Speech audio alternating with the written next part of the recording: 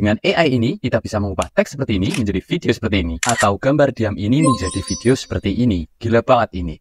Bikin video dari image atau teks prompt aja loh. Tinggal masukkan promptnya, enter, tunggu sebentar, dan bam, jadilah videonya. Nama AI-nya adalah Pika Lab. Dengan AI ini, kalian bisa ubah imajinasi kalian menjadi sebuah video tanpa perlu rekam. Cara daftarnya. Kalian harus punya akun Discord dulu ya, karena Pika Labs ini berjalan di Discord, persis seperti Midjourney. Pastikan kalian sudah daftar dan sudah login di Discord ya, agar pendaftarannya lebih smooth. Kalian cari aja di Google Pika Lab, atau langsung ketikkan pika.art.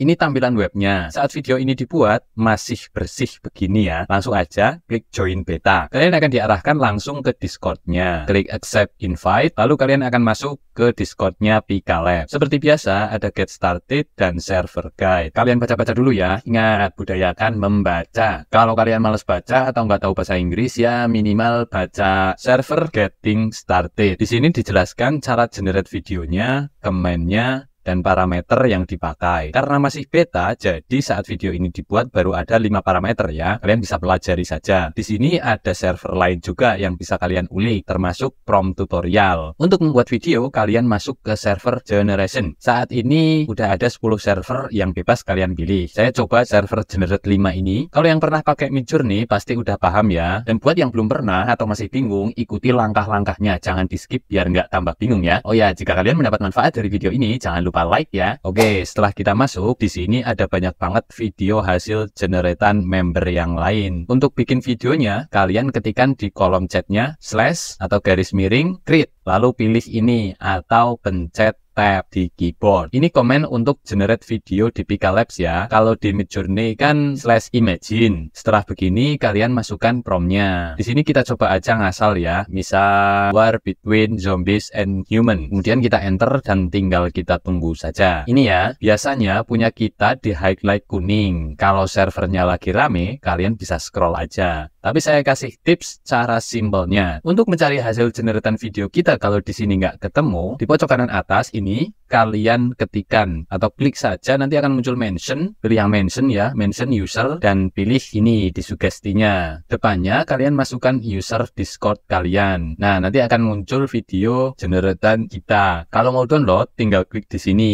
Nah, ini juga ya di sini. Mungkin di antara kalian ada yang bilang, "Waduh, aku nggak bisa bahasa Inggris bang atau waduh aku nggak bisa bikin promnya bang. Tenang aja saya akan share rahasia biar bisa bikin prom untuk video ini dengan keren. Cuma menggunakan chat GPT sebentar lagi ya nggak apa-apa saya share gratis aja. Tapi jika kalian mendapat manfaat atau merasa terbantu jangan lupa subscribe ya biar saya bisa share video bermanfaat dan konten yang berkualitas serta prompt atau AI tools yang bisa membantu kalian untuk para konten kreator. Selain dari teks prompt, kalian juga bisa pakai gambar untuk generate videonya. Caranya kalian ketikkan slash create, pilih ini dan depannya ini ada tulisan plus satu ya, kalian klik saja. Atau saat kalian klik slash create, terus klik tab dua kali. Nanti akan muncul option, kalian pilih yang image. Nah, silakan upload gambar yang mau dijadikan video di sini.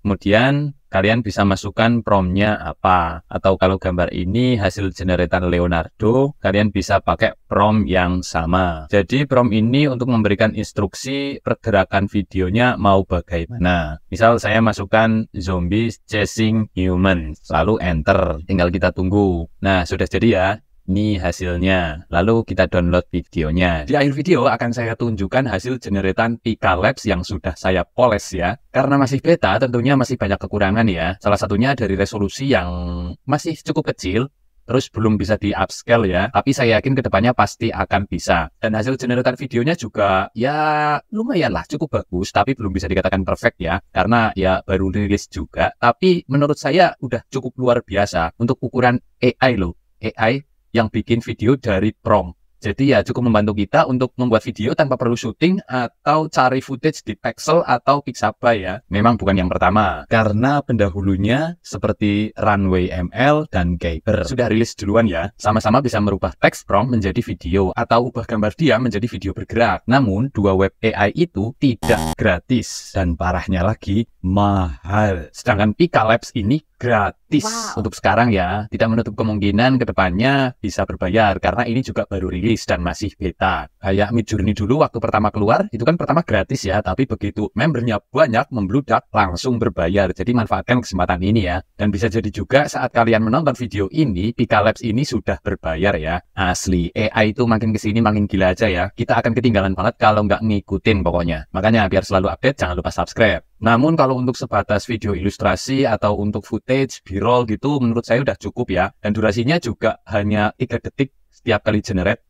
Jadi kalau mau bikin cerita, itu harus bikin banyak ya. Oke, seperti yang saya janjikan, kita bisa bikin prompt Pika Labs ini dengan bantuan ChatGPT. Dan saya akan share prompt ChatGPT-nya. Caranya, kalian cek linknya di deskripsi, kalian klik linknya, dan buka prompt yang ini ya. Ada tiga ini, tapi yang prompt utamanya itu dua ya. Kalian klik segitiganya, nanti akan drop down ke bawah, kalian bisa langsung copy dan pastekan di chat GPT kalian. Atau kalian juga bisa menyimpannya di Prompt Genius. Itu ekstensi ya, udah pernah saya bahas juga. Caranya pernah saya bahas di sini ya. Kemudian kalian tinggal memasukkan perintah simple untuk video yang kalian inginkan. Saya juga modifikasi agar bisa digunakan dalam bahasa Inggris ya. Jadi kalau misalkan yang nggak tahu bahasa Inggris, tinggal masukkan aja perintah simple dalam bahasa Indonesia.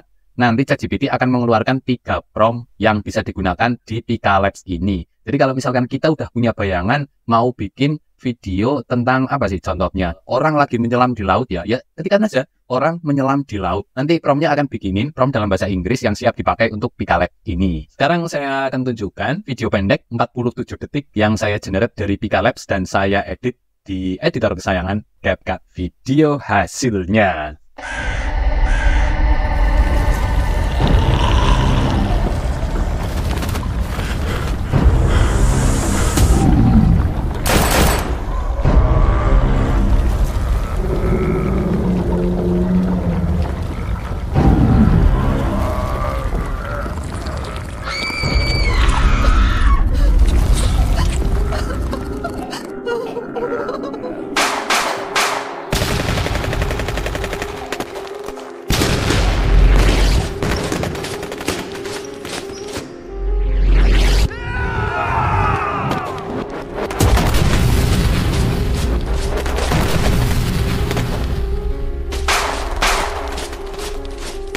Oke, gimana menurut kalian?